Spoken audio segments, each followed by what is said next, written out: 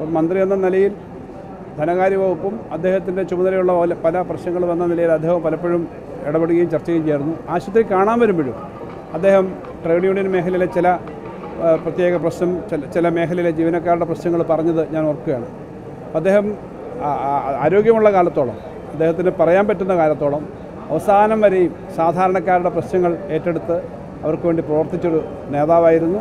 അദ്ദേഹത്തിന്റെ വലിയ മഹത്തായ അനുഭവങ്ങൾ അദ്ദേഹത്തിന്റെ ഓർമ്മകൾ ഏറ്റവും സജീവമായി കേരളത്തിലെ പുരോഗമന പ്രസ്ഥാനത്തിന് എന്നും ഒരു ആവേശമായിരിക്കും അദ്ദേഹത്തിന്റെ വേർപാടിൽ അങ്ങേയറ്റം ദുഃഖവും അനുശോചനവും ഏറ്റവും പുതിയ വാർത്തകളും വിശേഷങ്ങളും വിരൽത്തുമ്പിലറിയാൻ സി മലയാളം ന്യൂസ്. എല്ലാ ഡിജിറ്റൽ പ്ലാറ്റ്ഫോമുകളിലും ലഭ്യം.